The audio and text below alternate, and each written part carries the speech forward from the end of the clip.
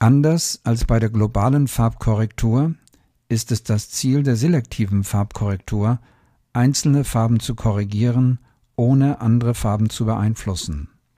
Aus diesem Grunde wird der Farbraum in sechs Sektoren, nämlich Rot, Grün, Blau, Cyan, Magenta und Gelb aufgeteilt.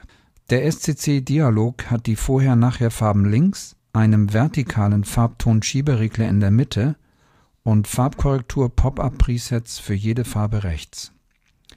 Darunter ist ACR, die autoadaptive Farbrestauration, um ausgeblichene Farben wiederherzustellen oder die Sättigung aller Farben zu korrigieren.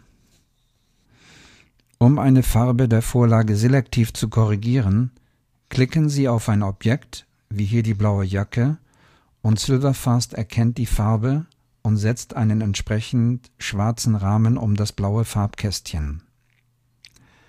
Nun öffnen wir das Korrektur-Pop-up für blaue Farben und wählen Rot Plus aus.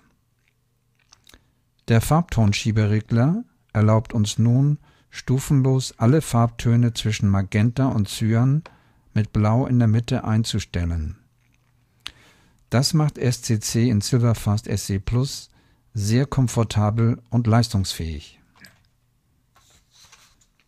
Neben dem Rücksetzen einer einzelnen Korrektur können alle Farbkorrekturen durch Drücken der Alt-Taste und Klick auf den Reset-Knopf, der sich orange einfärbt, zurückgesetzt werden.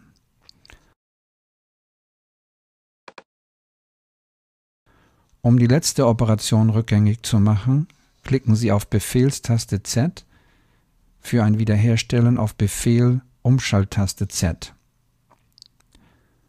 Klicken Sie auf den ACR-Knopf und verblichene Farben werden wiederhergestellt.